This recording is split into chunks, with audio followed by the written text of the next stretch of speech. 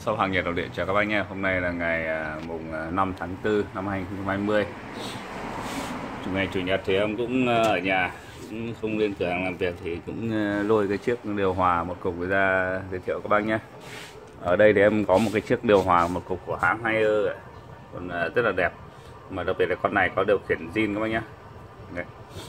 con này của hãng Haier rất là đẹp này, vỏ nguyên bản có điều khiển zin đi kèm cái dòng Haier thì các bác ờ, để ý là những cái con này thì nó nhiệt độ nó có thể cài xuống 16 độ được nhé.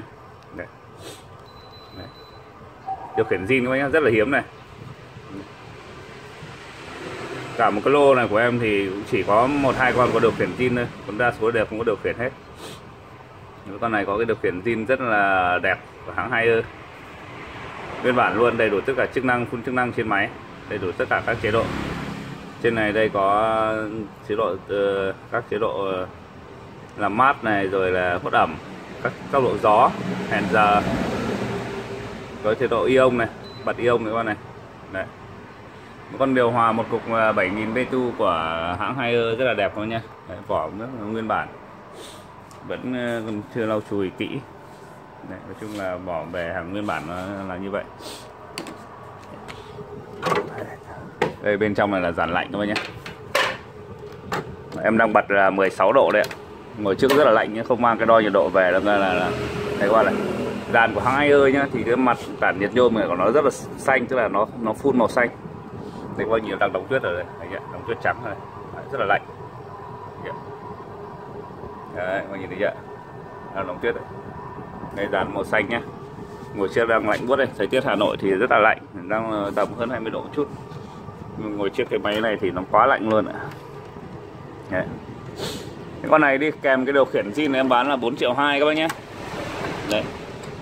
Là 4 triệu 2 con điều hòa này được kèm điều khiển zin.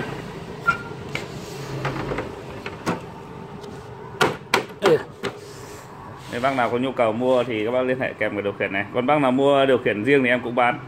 Điều khiển riêng thì bán 500 nghìn các bác nhé. 500 nghìn cái điều khiển này thì còn bác nào muốn mua máy em không mua điều khiển thì cũng bán giá 3 triệu 8 Đấy. không mua điều khiển thì em bán giá máy như các cái dòng máy bình thường. À, này các bác nhé Đấy. không mua điều khiển không lấy điều khiển. Thì 3 triệu 8 rồi kèm cho qua một cái điều khiển đa năng. Con này nó nhận điều khiển đa năng bình thường ạ. Còn bác nào thích zin thì các bác lấy còn không lấy thì tính 3 triệu 8 để bật ion này.